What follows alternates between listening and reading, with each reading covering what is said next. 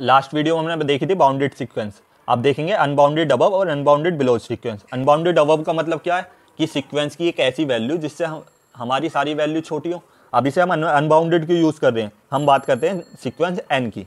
हम इसमें one by one natural number रखेंगे। One two three up to infinite तक जाएगा।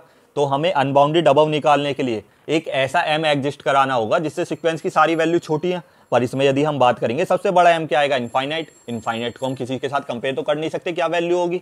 इस वजह से एक ऐसी सिक्वेंस जिसमें हमारा अपर बाउंड एग्जिस्ट ना करे तो हम उसे क्या बोल देते हैं? Unbounded above sequence similarly unbounded below sequence यानी कि एक ऐसी सिक्वेंस जिसमें हम लोअर बाउंड को ना मिल मिल पाए हमारा, कि हम फाइंड ना कर पाए कि हमारा लोअर बाउंड कैसे होगा। जैसे माइनस वन की माइनस वन माइनस एन की बात कर लें हम नेचुरल नंबर अलग अलग पुट करेंगे minus one minus two minus three अब टू माइनस इन्फाइनेट अब माइनस इन्फाइनेट सबसे छोटी वैल्यू होगी, पर वो क्या होगी, इसे तो हम मेजर नहीं कर सकते। इस वजह से हमारा इसकी सबसे छोटी वैल्यू सिक्वेंस की, यानी कि एक ऐसा एम एग्जिस्ट नहीं करा पा रहे, जिससे हमारी सिक्वेंस की सारी वैल्यू बड़ी हो।